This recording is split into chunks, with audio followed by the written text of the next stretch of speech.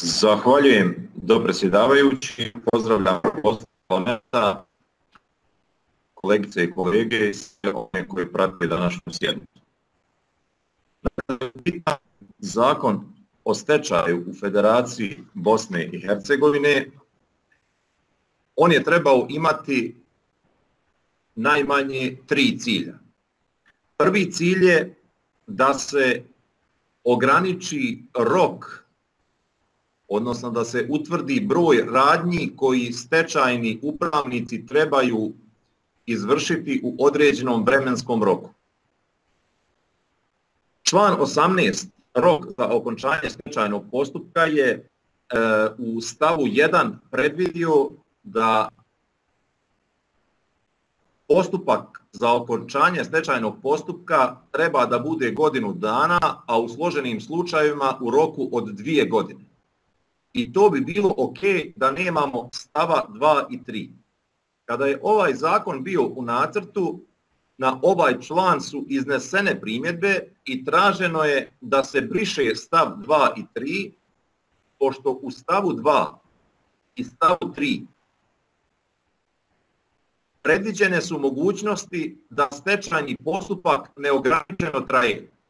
Javnost ne želi da stečajni postupci neograničeno traju kao što je to sada slučaj.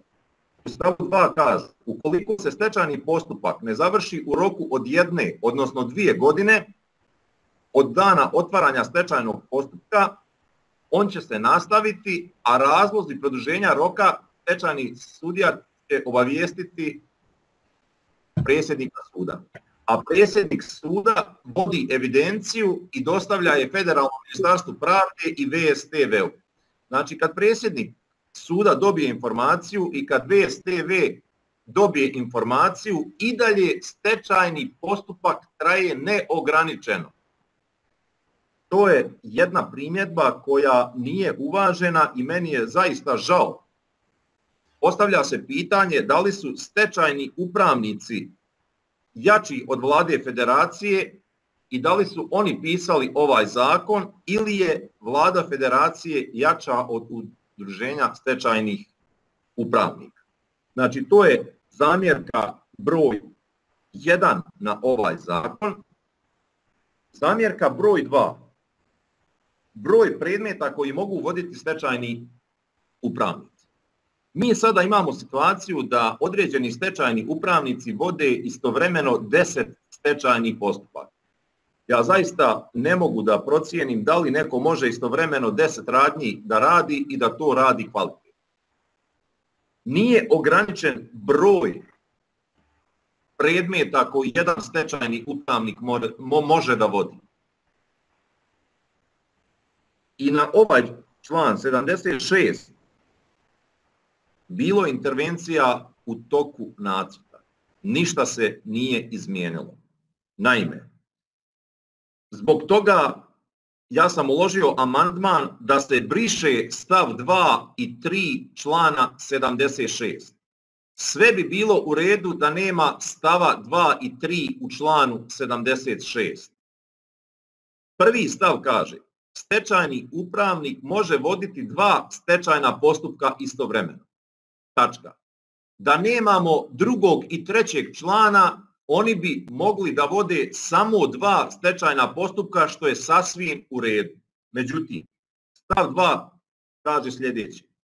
U stečajnim postupcima male vrijednosti stečajni upravnik može voditi više od dva stečajna postupka, a javnost upravo ne želi da stečajni upravnik jedan vodi istovremeno više od dva stečajna postupka. A u stavu 3 kaže stečajni postupak male vrijednosti je onaj stečajni postupak u kojem očekivana vrijednost stečajne mase nije veća od milion konvertibilnih maraka. Pa ako stečajna masa nije veća od milion konvertibilnih maraka, taj stečajni postupak će se valjda brzo i završiti. I kad završi stečajni upravnik taj postupak, onda neka dobiva drugi predmet da radi drugi stečajni postupak.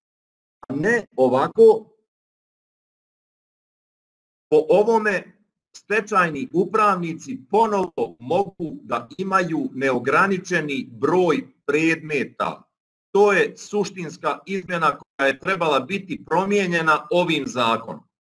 Zbog toga sam ja uputio amandman da se briše stav 2 i 3 u članu 76, jer to je jedina zaštita da stečajni upravnici mogu voditi samo dva postupka istovremeno po ovom zakonu, po ovom prijedlogu, ukoliko ne usvojimo taj amandman, stečajni upravnici će moći voditi neograničen broj predmeta. I imam još jedan amandman.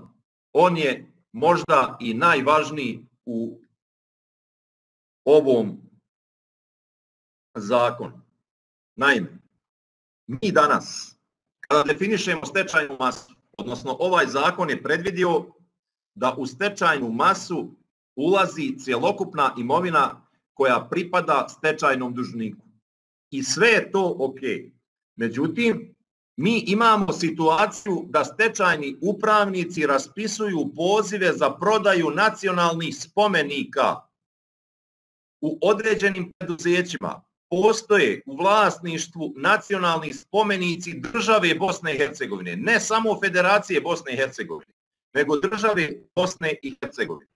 Na osnovu člana 5, stav 4, aneksa 8 općeg okvirnog sporazuma za mir Bosne i Hercegovine mi imamo komisiju za očuvanje nacionalnih spomenika Bosne i Hercegovine.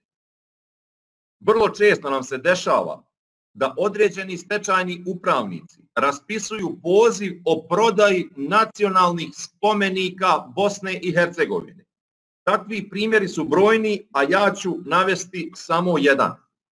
Naime, odlukom o proglašenju istorijske građe vile Krivaje DOO Zavidovići proglašena je vila nacionalnim spomenikom Bosne i Hercegovine. Ta odluka je broj 07 tačka 4 povlaka 2 tačka 3 povlaka 37 kroz 18 povlaka 24 od 21. decembra 2018. godine. U toj odluci komisija je jasno navela i mjere zaštite ko je odgovoran da se brine o nacionalnom spomeniku. Mi smo imali dva javna poziva gdje stečajni upravnik pokušava da proda nacionalni spomenik. Iz tih razloga ja želim da intervenišem na član 89 predloženog zakona. Ovaj amandman je najbitniji.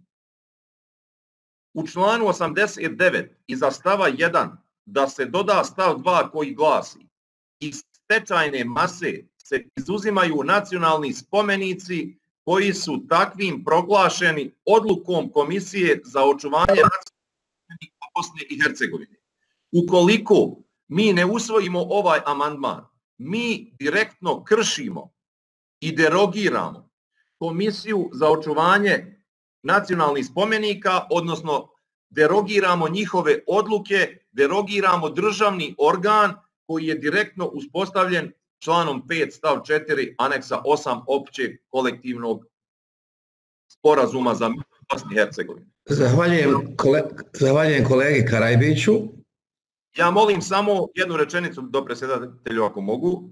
Znači, molio bih sve poslanike da ovaj amandman koji se tiče zaštite nacionalnih spomenika održimo kako bi sačuvali osnovno obilježje jedne države. Nacionalni spomenici su jedno od osnovnih obilježja svake države, kako i Bosne i Hercegovine i zaštitimo osnovno obilježje države. Hvala. Hvala ja.